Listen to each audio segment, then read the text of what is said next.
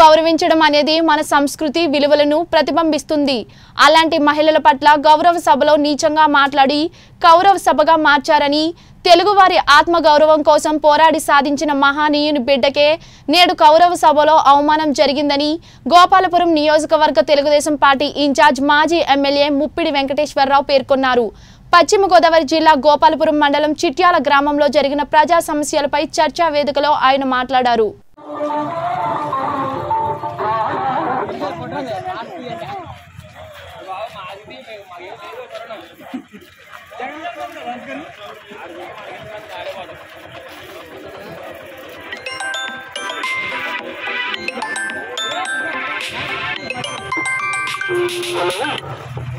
Gopalapuram Telugu Desam party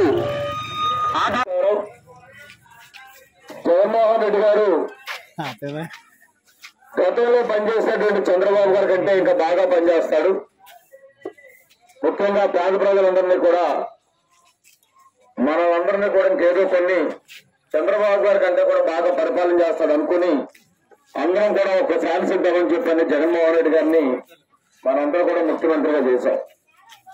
ముఖ్యంగా పేద ప్రజల గురించి మనం మాట్లాడుకుంటే గతంలో ఎన్నికల ముందు చంద్రబాబు గారు రెండు వందలు ఉన్నటువంటి పెన్షన్ని వెయ్యి రూపాయలు చేశారు తర్వాత వెయ్యి రూపాయల పెన్షన్ రెండు వేల రూపాయలు చేశారు.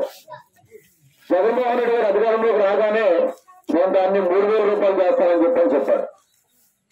అధికారంలోకి వచ్చిన తర్వాత నేను ఒకేసారి మూడు వేల రూపాయలు ఇవ్వను. మా నాన్నగారు పుట్టినరోజు కల్లా రెండు వందల యాభై రూపాయలు చెప్పిన పెంచుకుంటూ పోతాను అన్నారు.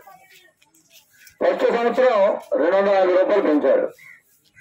రెండో సంవత్సరం పెంచలేదు. మూడో సంవత్సరం పెంచలేదు. ఇప్పటికీ ఆయన ముఖ్యమంత్రి అయ్యి రెండున్నర సంవత్సరాలు అయింది. మూడు సార్లు పెంచాలి పెన్షన్.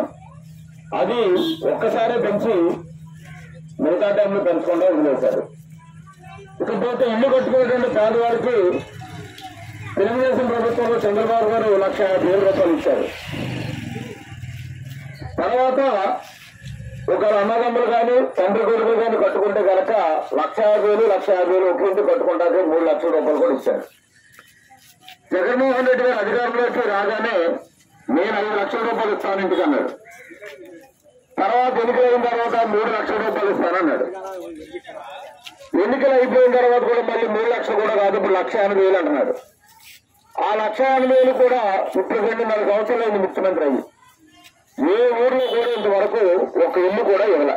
మరి మీ చిట్టాల గ్రామంలో నాకు కూడా తెలిసి ఒక్కడు కూడా ఒక ఇల్లు కూడా ఇవ్వలే. ఇకపోతే చంద్రబాబు గారు పేదవాళ్ళు ఎవరైనా సరిపోతే చంద్రన్న బీమా కింద యాక్సిడెంట్ తెచ్చిపోతే ఐదు లక్షల రూపాయలు ఇచ్చేవారు. న్యాచురల్గా చనిపోతే రెండు లక్షల రూపాయలు ఇచ్చేవారు.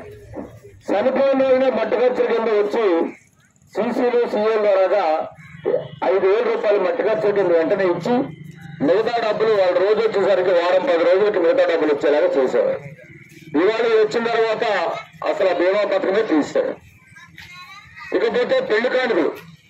ఆడపిల్లలు పెళ్ళి వేసుకున్నటువంటి పిల్లలు ఎవరైతున్నారో వాళ్ళందరూ కూడా పెళ్ళి కానుకల కింద చంద్రబాబు గారు ఇచ్చేవారు ఈయన వచ్చిన తర్వాత ఆ